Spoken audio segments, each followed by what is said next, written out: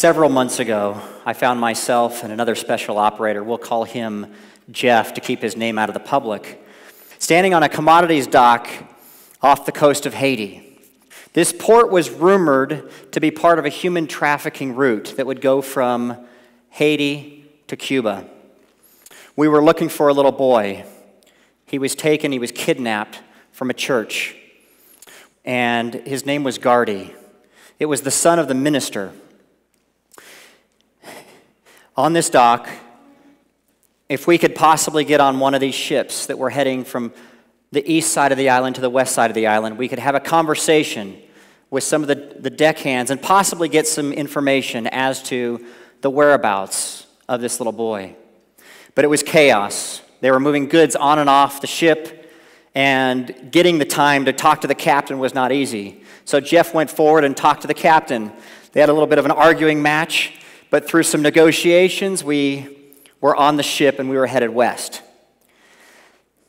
There was another passenger on the ship. It was a woman. She was hysterical. She was crying hysterically. She was afraid of the water. She couldn't swim and she feared her, for her life. I'm not sure why she was on the ship using this mode of transportation, but she was on there. And she was crying. And um, it was crazy. And I, I thought, we're going to have quite a trip ahead of us.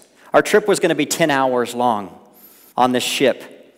In the first two hours, deckhands were arguing and fighting with the captain, accusing him of overloading the ship with these bags of cement, causing the waves to crash over the side of the ship, which was damaging or potentially endangering this precious cargo.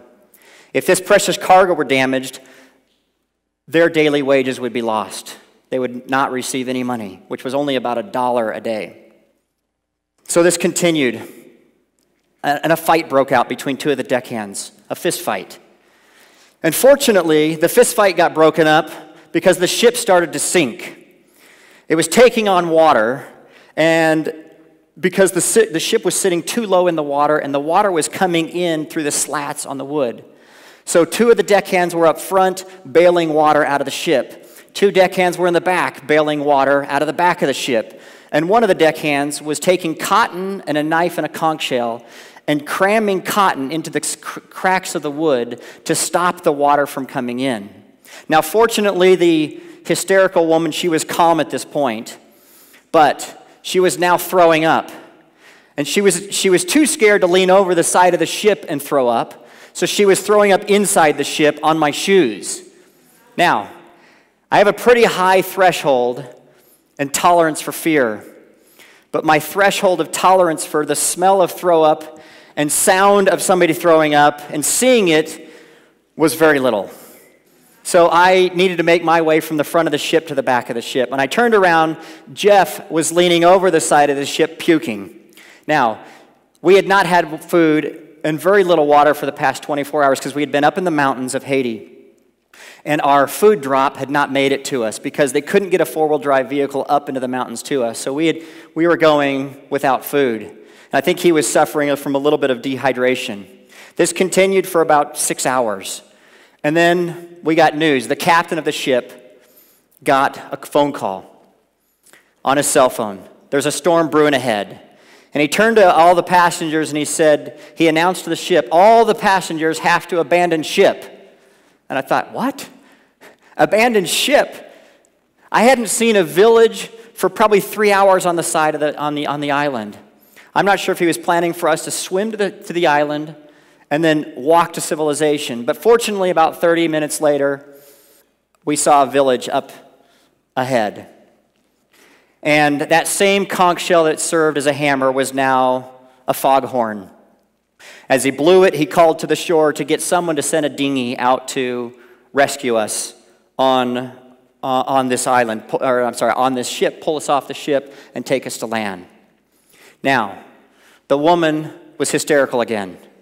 So they loaded her more, pushed her onto the dinghy to get her to shore.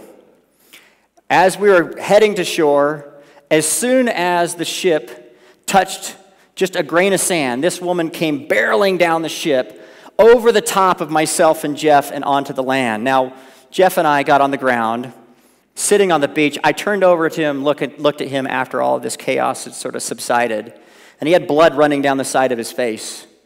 And the woman, as she went through, her fingernail took a gash out of the side of his head. So it was crazy, and I, I looked at myself, I looked at him, and I thought to myself, what in the world is going on? Where, where am I? What is happening? I'm not a Navy SEAL. I'm not highly trained. I'm a director. And I thought, what in the world, and how did I get here? Well, it was a long journey. It was a three year journey. It started three years ago. My partner, Darren Fletcher, who I direct films with, he and I were directing a movie. And this movie, we needed a historical consultant. We needed an expert, an expert on the Civil War and the Revolutionary War in America. We found him. His name was Tim Ballard. And he was the expert that we needed. We met with him, we brought him on as a consultant to the film. He told us all the stories that we needed. We heard all the stories. He was perfect. But then he started to tell us other stories. He started to tell us stories about him rescuing children from being sex trafficked. And we thought, who is this guy? I mean, this is the story we should be telling. Fletch and I looked at each other and said, this is, the, this is a great story. That's what we should be telling. But who is this guy sitting next to us? Well, he was a special agent for Homeland Security and former, eh, formerly in the CIA. So he began to educate us on the problems, Fletch and I, of trafficking, sex trafficking in the world. Human trafficking is the fastest growing international crime. It, that includes anyone that's being trafficked for sex and or labor. Trafficking is the third most lucrative crime in the world, second only to drugs and weapons.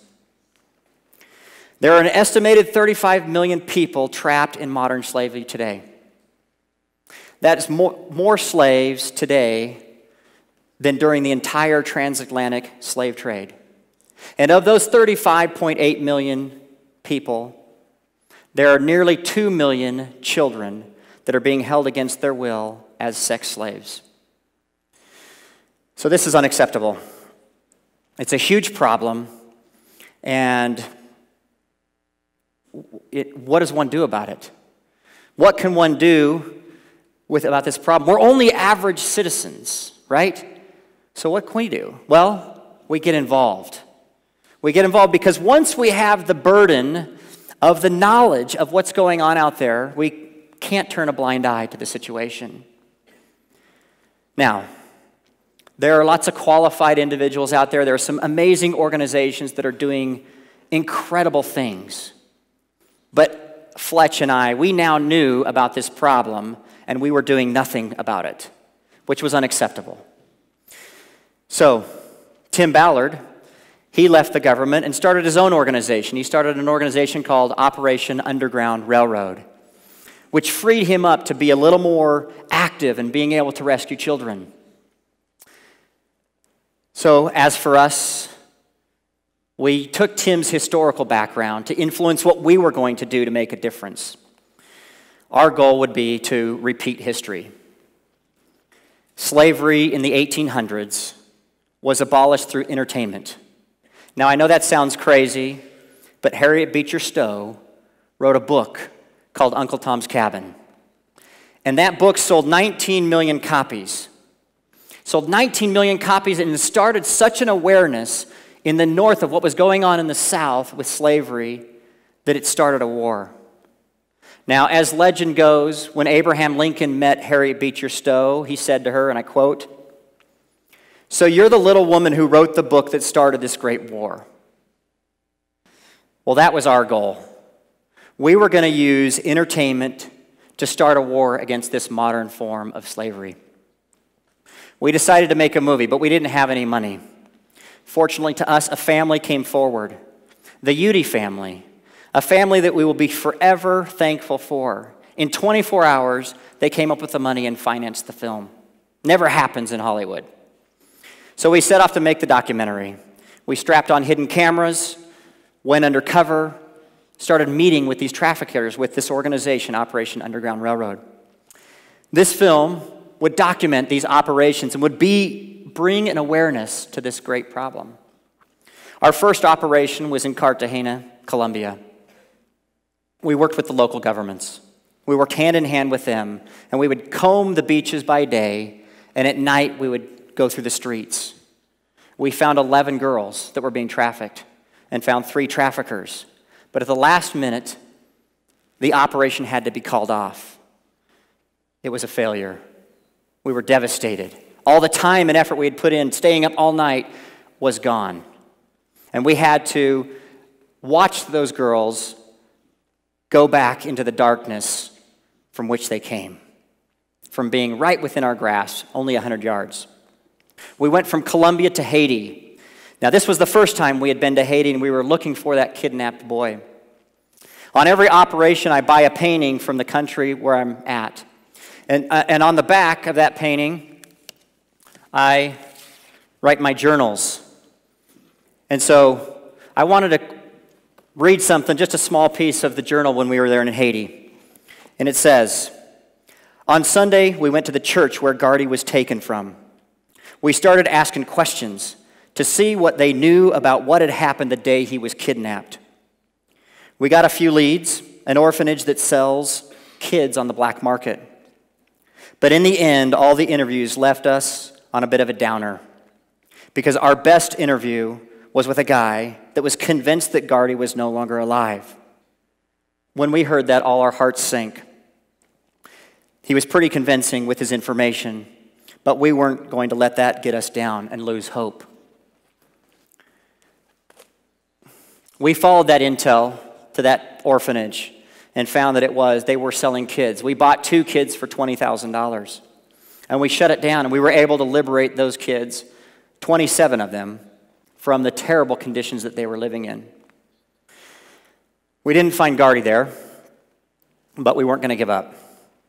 We went back to Colombia, where we found the 11 girls that we had found the first time, got them back, along with quite a few more. Now, with three operations in two countries in the can, so as we say in, the, in Hollywood, we had the content to the film. We had more than we needed. We had about 3,000 hours of footage. The first cut of the movie was 12 hours long. It was almost an insurmountable task to get this down to a movie.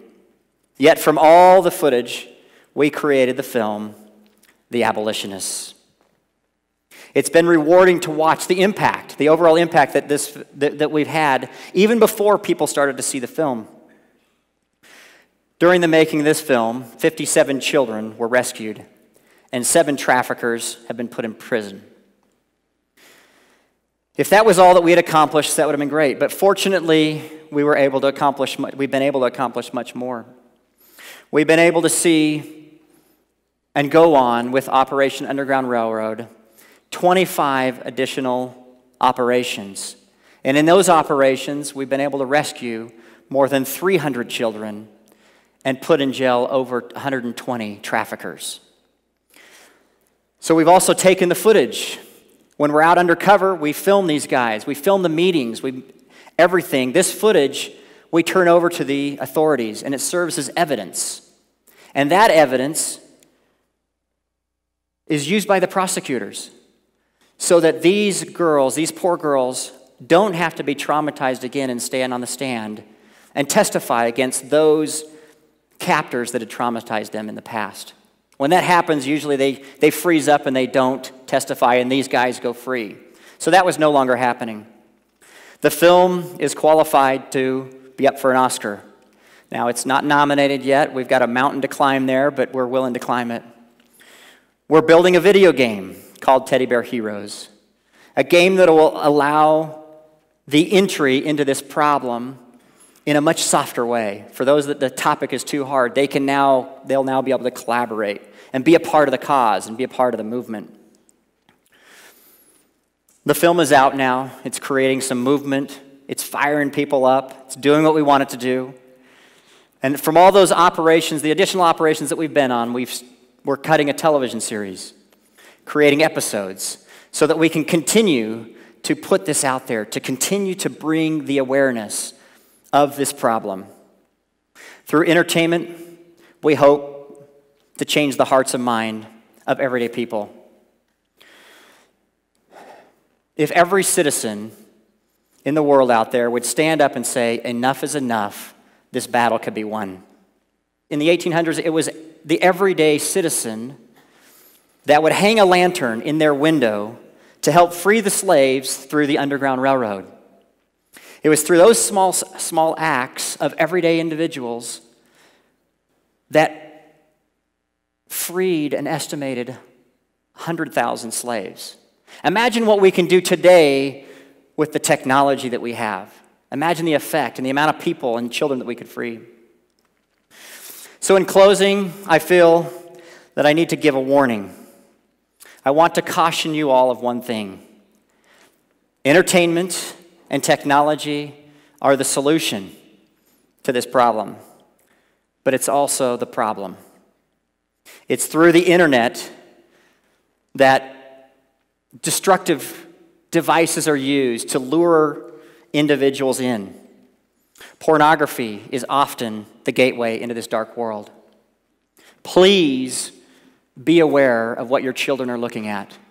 Be aware of their activity. Social media is grabbing our youth at a younger and younger age. Be aware of what our children are doing on the internet and who their friends are. It's so easy for a 50 year old to guise behind a 16 year old profile. And then by the time your child finds out that that person is not who he said he was, it's too late. They're gone. And it's near impossible to get them back. We would never take a pocket knife, an open pocket knife, and give it to a two year old child, would we? We would wait until that child is ready to be able to use that knife. And then we would stand by their side, teach them, talk to them, tell them how to use it, watch them as they use it. We would set up guidelines. We would set up parameters for which they can use this pocket knife, right? The internet is exactly the same. Technology, phones, gadgets, they're no different. We have to be careful. Please be cautious. And I know well the preteen and the teenager pressure out there. I've got four kids of my own, and I have heard all the pleadings and promises that they'll do if they can just get this one device and have full access. I've heard it all. My daughter waged a three year campaign on me to get a phone from the ages of 11 to 13, nonstop. And in her freshman year, she had the perfect, perfect case. She came home from school, tears flowing down her face. She said, Dad, I almost died because I didn't have a phone. And I thought, okay, well, this is pretty traumatic. So I was listening to her, I was comforting her, and, and so I said, okay, well, I'm listening. And she continued to tell me, he says, You were late picking me up for school today, and I had to cross the crosswalk. And when I was crossing the crosswalk, a car almost hit me, Dad. So I, I, I listened to her, and I said, Okay, all right. I comfort her. A few months passed, and Christmas came. So it was time for me to give her a gift. Now, in our family, I give one gift to my kids. And that gift has been coined as the crazy daddy present. And, and this present that I gave her, it was the perfect present. She would no longer ever, she could never come to me and say that she could no longer be seen. Because she could wear this to school, if I can get it on, she's a little smaller than I am. She could wear this to school and she could walk around. She could cross the crosswalk and she would never be, she would never be hit by a car, right? This was the perfect gift. She could wear this. She would be protected, right? Now, I'm not that heartless. I did get her a phone that year. But I got her a phone that could not text pictures. I got a, I did, we deactivated the internet so she couldn't get it. She didn't get a smartphone until she went to college. So she got a phone. I'm not, I'm not that heartless. Now let me get out of this suit before I fall down. But it are, it's these tools that, if we're not careful, are the ones that take away the innocence of our children. They're the ones that replenish the two million children that are out there being taken. We have to focus and bring our children home. We have to stop the supply. And for those that are creating the demand, we have to make it so hard for them fear to come into that space. It's too risky. These kids here are all Haitian, but it's happening to children all across the world. It's happening in your backyard, it's happening in my backyard. This is the beginning of the fight, the beginning of a great movement. Be a part of it. It's not easy, but it's worth it. Be one of those average citizens that holds the lantern up in the window. Become an abolitionist. Thank you.